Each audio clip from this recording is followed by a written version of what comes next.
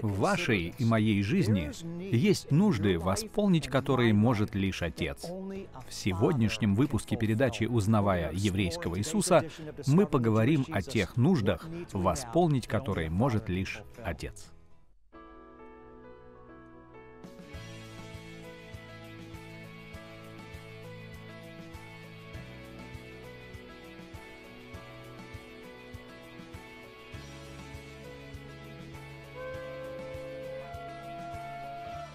Равин Шнайдер — это голос, взывающий в нашем потерянном мире и направляющий людей к Иисусу. Шалом, я Синтия, жена Равина. Я молюсь о том, чтобы Бог Отец коснулся вас сегодня и благословил во время проповеди и учения Равина Шнайдера. Спасибо вам, и пусть Отец воздаст вам за вашу щедрость и вашу верность. Будьте благословенны. Пусть Бог благословит вас и шалом, возлюбленные. Меня зовут мессианский раввин Кёрт Шнайдер. Добро пожаловать на этот выпуск передачи «Узнавая еврейского Иисуса».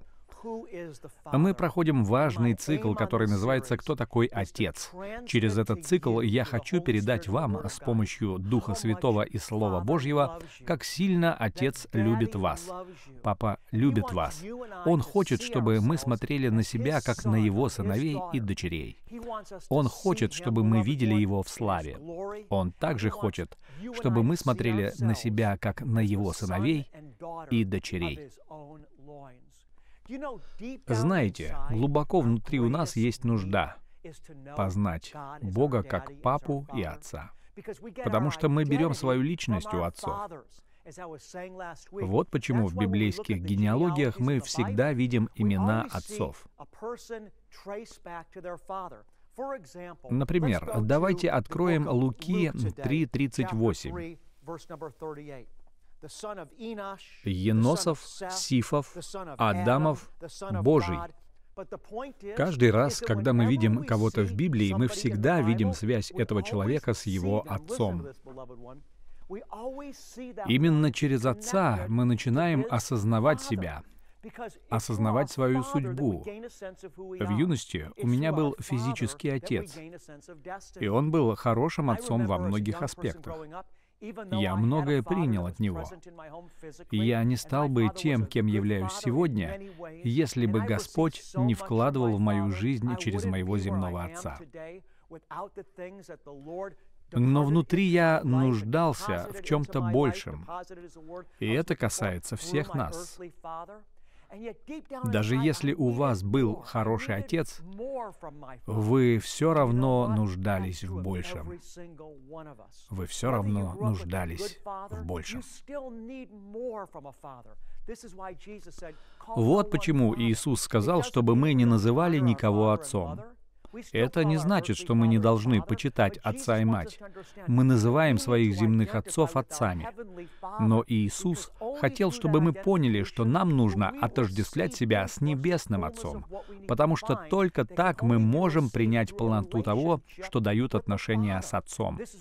Вот почему Иисус сказал, когда будете молиться, молитесь так. «Отче наш, сущий на небесах». Если посмотреть на Иисуса, особенно на его общение с Отцом, то увидим, что его главной целью были взаимоотношения и желание угодить Отцу.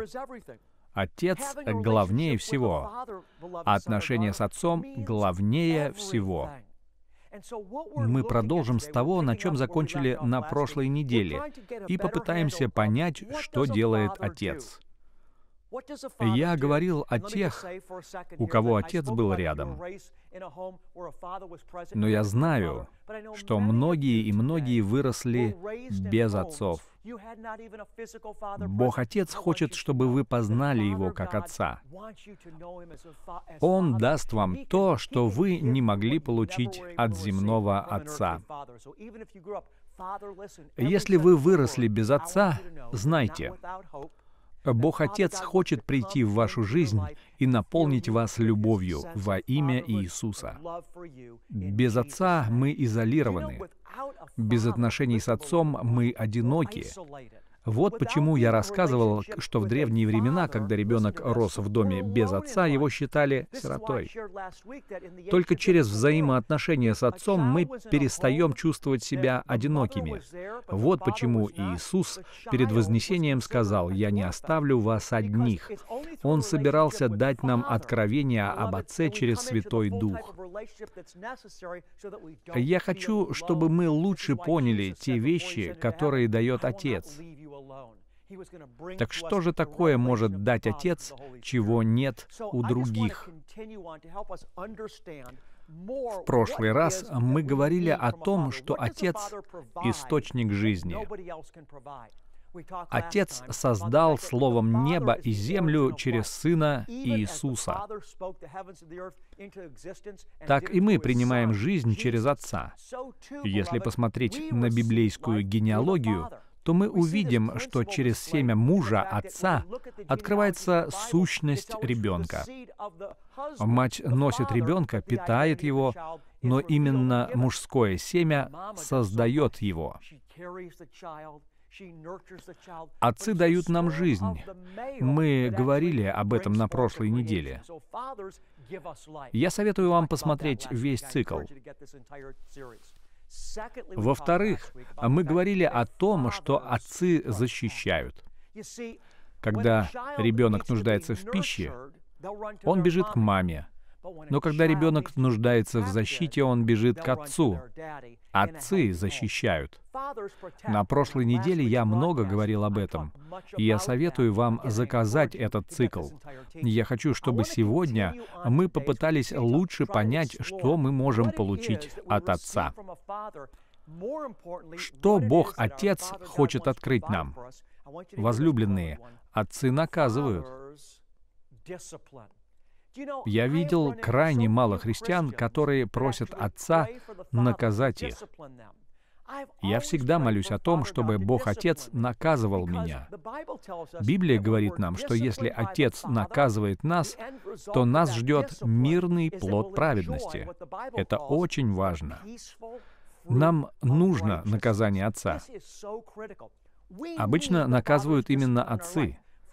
Я понимаю, что так бывает не всегда. Но если семья построена на традиционной библейской модели, наказывают именно отцы. Давайте посмотрим на это в послании к евреям. Я хочу прочитать вам Евреям 12.5. «Сын мой, не пренебрегай наказание Господня и не унывай, когда Он обличает тебя». Что говорит автор? «Сын мой». Когда я говорю о сыновьях, то не имею в виду только мужчин, но и женщин. Мы читаем во втором Коринфянам 6.18. Бог говорит, «Я буду вам отцом, и вы будете моими сынами и дщерями, говорит Господь Вседержитель. Когда я использую слово «сын», то вы, дочери Господа, должны понимать, что эти слова касаются и вас. Для облегчения понимания Библию написали в мужском роде. Давайте вернемся к Евреям 12.5.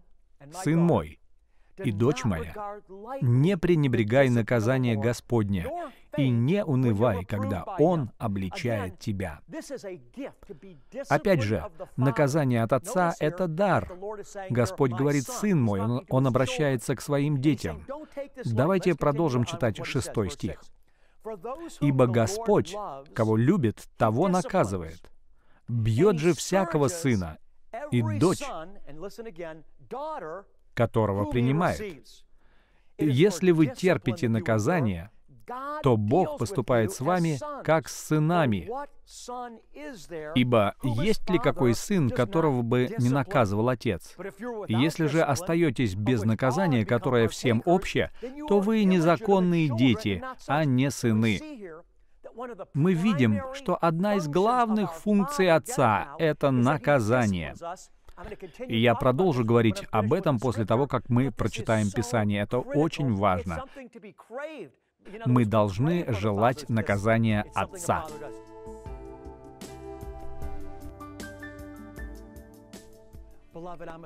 Возлюбленные, я всегда говорю прямо. Мирское телевидение отличается от христианского.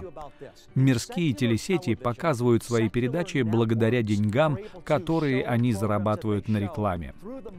Но на христианских телеканалах люди вроде меня должны платить за выход в эфир, за передачу.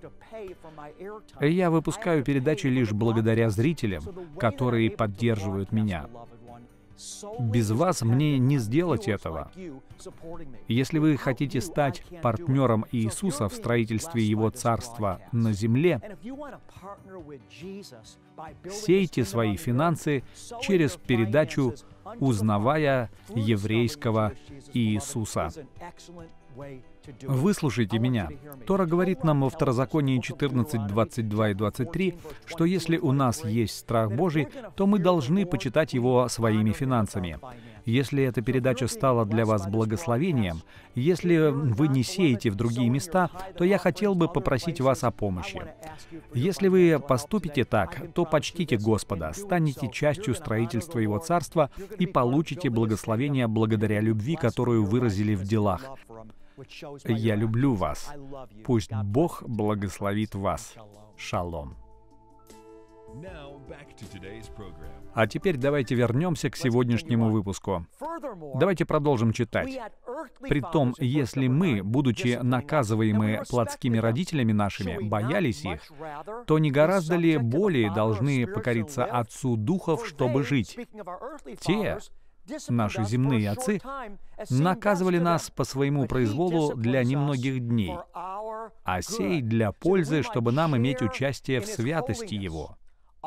Всякое наказание в настоящее время кажется не радостью, а печалью, но после, наученным через него, доставляет мирный плод праведности. Я благодарен, что у меня есть отец, который наказывает. Я расскажу вам, почему это так важно. Когда вы начинаете уходить в сторону, и никто не наказывает вас, вы уходите все дальше и дальше, теряя благословение. Отец не благословит нас, когда мы сошли с пути. Отец благословит нас, когда мы идем по пути. И так как Папа очень любит нас, Он накажет вас, чтобы вы вернулись на путь и получили благословение. Послушайте, что написано.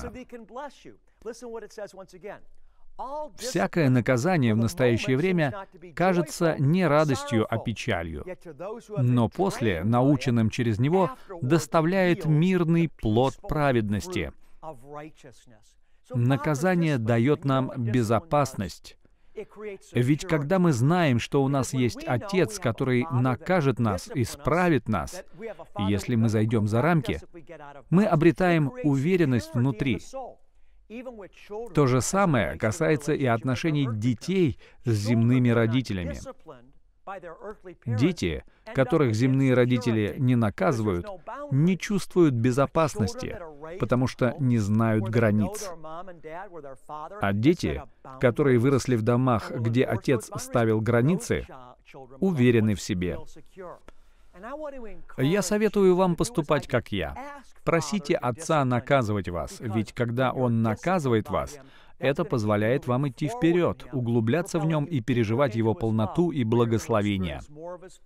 Отец любит вас так сильно, что будет наказывать вас. Это должно придать вам уверенность. Что еще делает Отец? Отцы также являются главными учителями дома.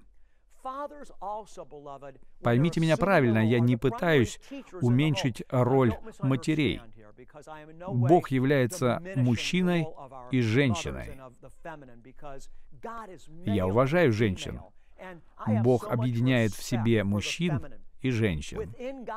Писание говорит о Боге в мужском роде, но в Отце скрыта и женская часть. В прошлом выпуске я говорил, что когда Господь явил себя Моисею, то сказал «Я Яхве, Бог, сострадательный и милостивый». На иврите это слово в женском роде. Я использую мужской род, но в нем также есть и женский. Я просто делаю ударение на отцах. Я хочу сказать женщинам, я преклоняюсь перед вами и почитаю вас. Я люблю вас. Я не знаю, что бы я делал без своей жены. Я не смог бы достичь всего этого, что есть у меня сейчас, без нее. Я хочу сказать женщинам, хоть я сосредотачиваюсь на отце, я также уважаю женскую природу Бога. Он создал нас по образу своему, мужчину и женщину. И я хочу сказать прекрасным дочерям Божьим. В Бытие, в первой и второй главе, мы видим, как Бог начинает с растений и переходит к животным. Каждый день сложность творения возрастала. Сначала растения, затем рыбы, затем животные, и с каждым днем сложность Божьего творения все возрастала и возрастала. Знаете, кого последним создал Бог? Кого последним создал Бог? Женщину. Он взял ребро и создал женщину. Я хочу сказать женщинам, вы — последнее творение Божье. И это говорит о том, что вы — самое удивительное творение на земле. Я вижу это в чувствительности к Богу и Духу Святому в вас. Я хочу, чтобы вы понимали, что я люблю вас. В Иешуа нет дискриминации по половому признаку. Мы равны в чести и Божьей славе. Я говорю об Отце. Когда у вас дома сильный отец, то он берет на себя роль священника, который покрывает весь дом. Он является главным учителем в определенных аспектах, которые помогут его детям приготовиться к встрече с миром. Иными словами, в доме, где между мужем и женой хорошие взаимоотношения, есть определенные вещи, которыми занимается жена. Обычно жена питает, а мужья воспитывают и учат. Для примера, в традиционной модели отец готовит детей к встрече с миром. Он учит их таким вещам, как финансы. Мы знаем, что отец, муж, должен быть главным священником дома, который обучает и наставляет детей на Божьих путях. Знаете, а Господь сказал, что учит всех своих сыновей и дочерей. Отец учит детей и сыновей. Я прочитаю вам из Иоанна 6.45. Иисус сказал, «Всякий, слышавший от Отца и научившийся, приходит ко мне». Я хочу ободрить вас сегодня. Просите Отца наказывать и обучать вас. Это не просто проповедь. Это послание призвано побудить вас к молитве. Вот почему. Я не могу открывать вам Отца. Только Отец может открыть вам себя. И Он открывает себя через своего Сына. Иисус сказал, «Никто не знает Отца, кроме Сына, и кому Сын откроет». Иисус также сказал, «Просите и получите». Если мы просим у Отца по воле Его, то Он услышит и ответит нам. Вы должны знать. Отец хотел спасти вас для того, чтобы вы познали Его. В этом суть Евангелия. Он послал своего Сына, чтобы спасти вас и привести к себе. Спасение — это не попасть на небеса. Суть спасения — в познании Отца. Иисус сказал, «В доме Отца моего обителей много». Иисус сказал, что Отец ищет тех, кто будет поклоняться Ему в духе и истине. И Иешуа учил, чтобы мы начинали молиться со слов «Отче наш». Суть всего этого в том, чтобы вы познали Папу, Аву Отца, получили откровение о Его любви к вам. Тогда вы увидите Отца таким, какой Он есть на самом деле, и поймете, что вы Его дитя. Вы его сын или дочь. Если вы мужчина, Бог хочет укрепить вас в силе. Если вы женщина, Отец хочет показать вам, насколько вы прекрасны. Вы славная дочь Божья. Вы прекрасны. Не имеет значения, высокие вы или низкие, худые или полные. Каждая дочь Божья прекрасна. Мы даже не представляем, насколько мы прекрасны и сильны. Библия говорит, чтобы мы молились для того, чтобы понять богатство славы наследия Бога, Отца в нас.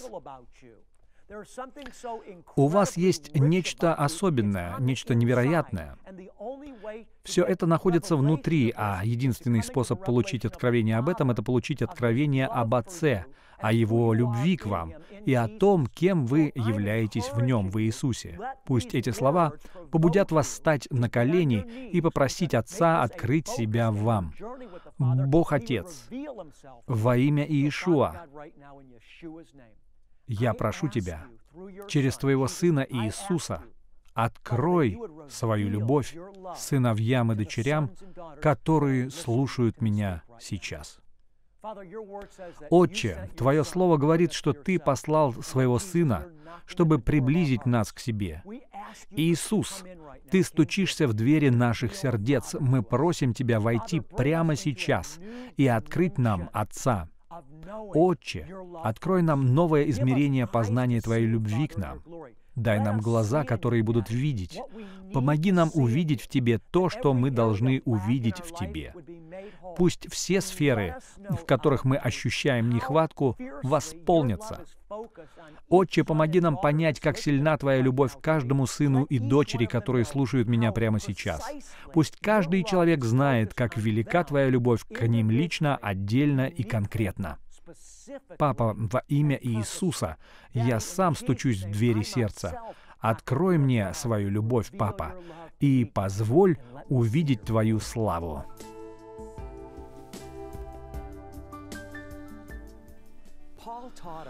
Павел учил нас, что Ветхий Завет был написан для нас, верующих в Иисуса, живущих в последние времена. Ветхий Завет рассказывает нам о том, что Бог Отец сказал детям Израилевым принести десятины в место, которое Он избрал для них. Если Бог Отец использует передачу «Узнавая еврейского Иисуса» для провозглашения своего имени и царства в вашей жизни, то я хочу попросить вас сделать пожертвование Богу через нашу передачу. Писание говорит, что мы должны финансово поддерживать служения, которые питают нас. Я хочу поблагодарить вас за поддержку. Если вы будете послушны Господу, Отец благословит вас. Я люблю вас. Шалом. Если вы хотите стать нашим партнером, то отправляйте свои пожертвования по адресу, который вы видите на экране. Или же вы можете сделать это на нашем веб-сайте. В благодарность мы вышлем вам аудиопроповедь Равина Шнайдера, а также наш информационный бюллетень, чтобы больше узнать об этом служении, а также ознакомиться с материалами, написанными Равином Шнайдером и мессианской музыкой от Джошуа Джеймса, заходите на наш сайт. Если у вас есть свидетельство о том, как Господь использовал нашу передачу, чтобы изменить вашу жизнь, поделитесь ей с нами. Посетите нас по адресу, который вы видите на экране, и нажмите на вкладку «Свидетельства». Равин учил о том, что грех и непрощение могут привести к тому, что нас, христиан, будут мучить бесы. У меня долгое время были проблемы с этим, и я не знала, что делать. Когда Равин говорил и молился, я ощутила прикосновение. Я стала на колени и попросила Бога помочь мне простить других, сосредоточившись на кресте. Во время молитвы чувство тягости покинуло меня. Я получила освобождение. Слава Господу! Мы рады, что вы присоединились к нам сегодня. Мы хотим помолиться за вас. Присылайте нам свои нужды по почте или через наш сайт. Мы также хотим благодарить вас за финансовую и молитвенную поддержку. Поддерживая нашу передачу, вы становитесь партнером Господа в строительстве Его Царства. Спасибо, и пусть Господь изольет в вашу жизнь обильные благословения. когда вы сотрудничаете с нами.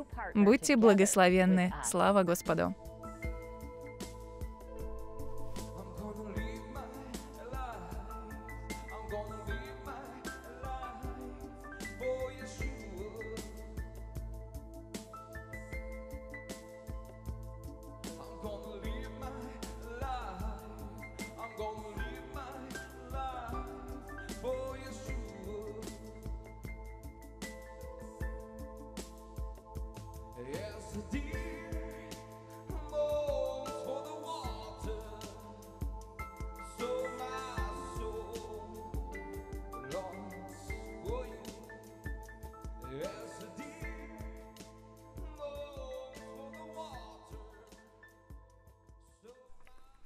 Возлюбленные, в завершении этого выпуска я хочу высвободить благословение Отца на вашу жизнь.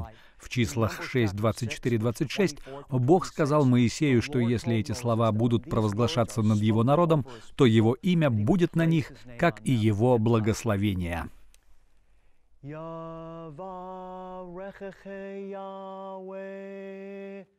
Vayishmarecha Ya'er Yahweh panavelecha vichunecha. Yisa Yahweh panavelecha ve'asem lecha. Shalom.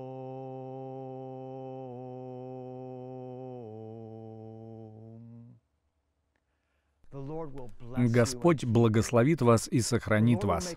Господь презрит на вас лицом своим и помилует. Господь обратит к вам лицо свое и даст вам свой мир. Возможно, вы смотрели сегодняшний выпуск и ощущали, что Иисус стучится в двери вашего сердца, и вы никогда не приглашали Его в свою жизнь, но хотели бы сделать это сейчас. Просто повторяйте за мной, скажите, «Господь Иисус, я верю, что Ты пришел и умер за мои грехи. Я принимаю Тебя в свою жизнь прямо сейчас. Спасибо за то, что Ты умер за мои грехи, занял мое место на кресте. Приди и живи внутри меня. Иисус, я отдаю Тебе свою жизнь».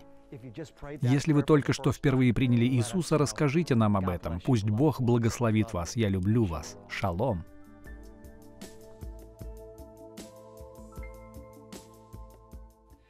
На следующей неделе мы рассмотрим теологические корни того, что случилось, когда Адама и Еву выгнали из Эдемского сада после грехопадения, и как Иисус пришел, чтобы вернуть нас назад, чтобы мы больше не были сиротами. Не пропустите наш следующий выпуск.